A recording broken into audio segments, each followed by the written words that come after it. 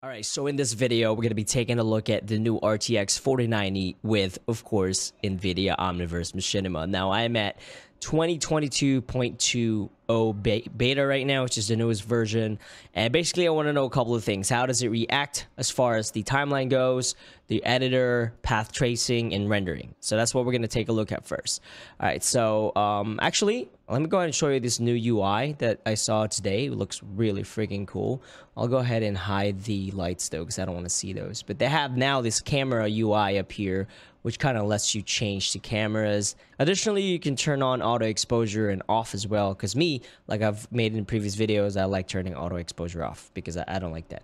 I control the exposure by myself.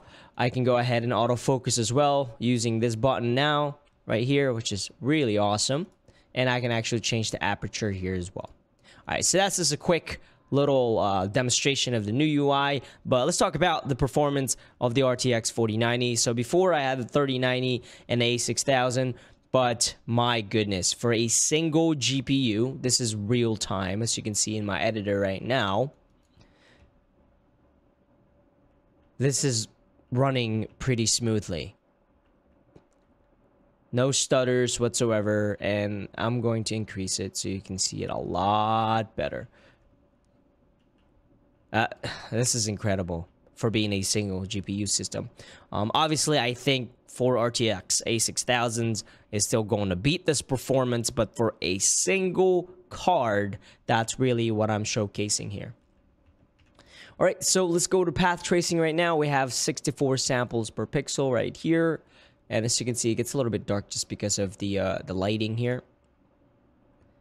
And probably the I let me, ch let me change the ISO real quick. The lighting is gonna be different from real time to path tracing because it's different, right? The, the bounces and things like that. So this is path tracing right now, and this is real time. So the real time is gonna be a lot brighter. So this is 64 samples per pixel, and it is resolving in roughly 1.8 seconds.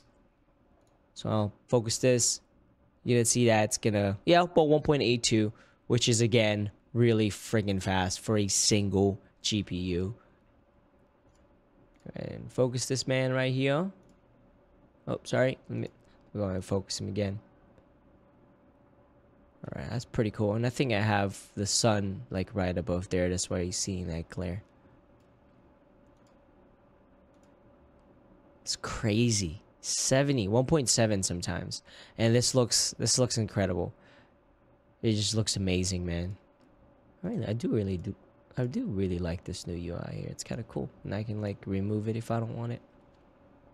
But i know i wanted to test this out real quick in here in omniverse because i'm going to be using this. I'm actually making a short right now in this environment right now. I just haven't really finished it. I'm still I still have to mocap it but um, I'm gonna I'm working on something here that's really cool. So I can't show too much because it's a work in progress.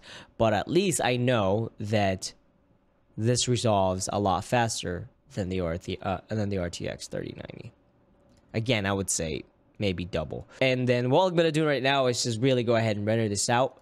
So we take a look at it rendering movie capture, and we'll go with 4K path tracing and we'll do uh I don't know, maybe uh, maybe we'll do like 128 samples per pixel. This is 128 4K. We're just gonna render this right here. So capture current frame, and I'm gonna just see how long this is gonna take in path tracing.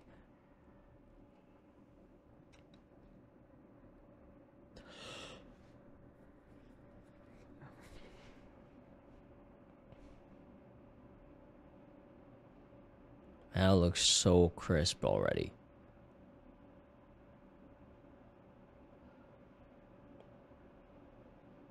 Wow. I'm gonna have to watch that video because I, I, I don't even know where it stopped. So um I, don't even know when that actually finished. So I'm gonna have to like maybe put a text on the screen because I didn't expect it to finish that soon. To be honest, at 4K, 120 frames per pixel, path tracing, one GPU, I didn't expect it to be that fast. I'm sorry. So I'm just going to put the text up and um, you'll see how fast that rendered. Uh, but what we'll do now is just take a look at that render to see if it looks good. Because if it doesn't look good, defeats the purpose. So I think it's Hay 2 that I did because I did two tests. Yeah. Holy crap. Jeez. This is insane. That looks amazing for that fast of a render. In four I'm sorry, I'm I'm just super excited because in Maya back then I would render a 1280 with the RTX 3090 and it would take like 2 minutes 45 per frame in not even path tracing. So you're telling me that I can render path tracing in whatever how many seconds that was in 4K with the RTX 4090 that's just something to be very, very, very excited about. Obviously, I still have to make a movie with it to kind of give you my overall kind of opinion about this card. But so far, playing video games in Unreal Engine 5, in NVIDIA Omniverse, it has been worth the upgrade from a 3090. Tell that right now. For $20 MSRP over the 3090, it's been so much worth it. Um, and again, I just wish I got the NVIDIA Founders Edition because I'm already running into the problem of the glitchy uh, booting up earlier that I showed Joe. But but yeah, I'm gonna be doing more videos, obviously. But this is just a quick video to show you how it performs with NVIDIA Omniverse Machinima, and I think it's performing pretty darn well.